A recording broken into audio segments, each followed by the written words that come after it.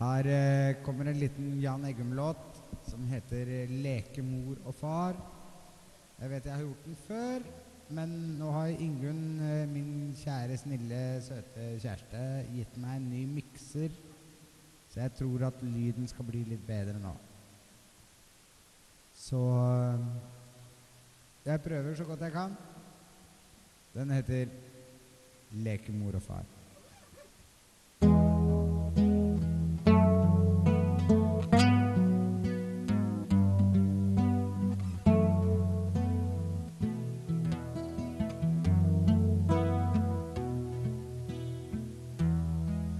Eva er fire år og vandrer i gresset.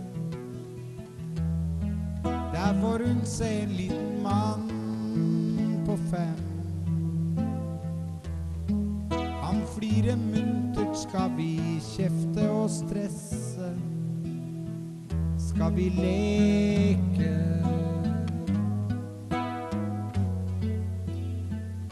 Skal vi leke mor og far?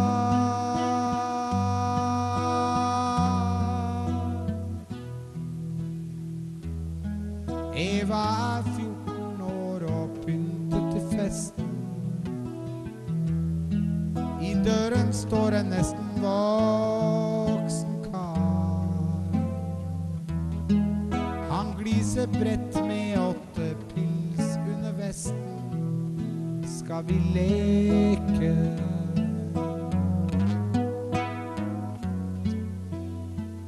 Skal vi leke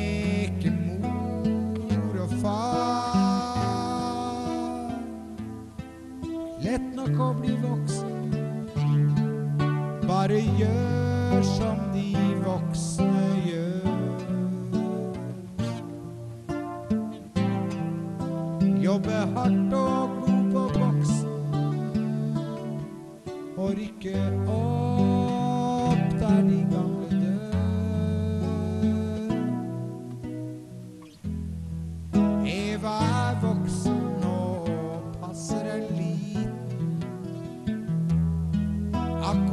sånn som hennes mor har gjort. Du har en pappa, men han er altfor sliten, så mamma leker. Mamma leker mor og far. Klart du må ta turen. Hjemme begge to.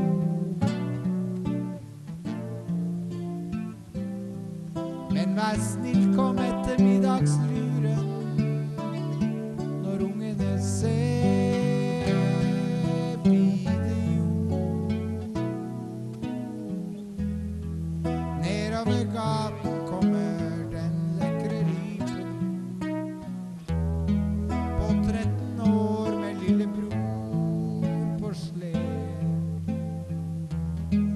Nei, vi gikk ut, vi, som at mamma og typen slapp å leke.